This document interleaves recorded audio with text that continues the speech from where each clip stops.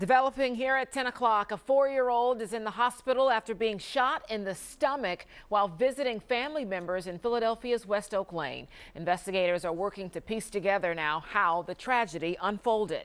Thursday night, I'm Sharrie Williams. Gray Hall has the night off. We start with that developing story out of West Oak Lane. A little girl is recovering after being shot in the stomach. It happened inside of a home on the 2400 block of 79th Avenue around 7 o'clock tonight.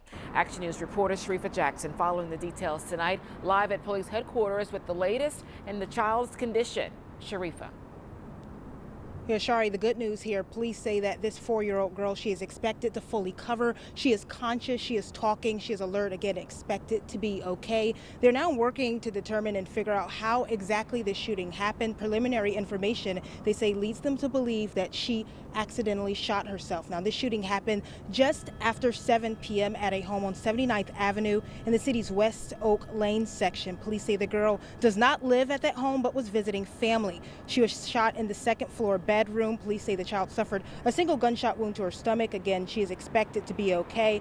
Investigators are still working to determine and learn the circumstances surrounding the shooting. Police say the gun does not does belong to a family member who lives there, and three other adults were inside the home when the shooting happened. Take a listen. The four-year-old was with her mother.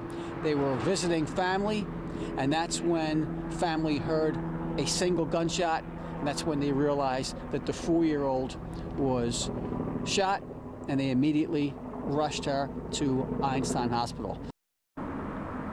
And we have since learned that this child has been transferred to St. Christopher's Hospital for Children. Again, police say that she is stable. She is expected to be okay, but there's still much to learn. We're waiting for the latest developments. We're live outside Philadelphia Police Headquarters. Sharifa Jackson for Action News at 10 on PHL 17. Sharrie? Yeah, the big question for investigators, of course, how the little girl got a hold of the gun. Sharifa, thank you.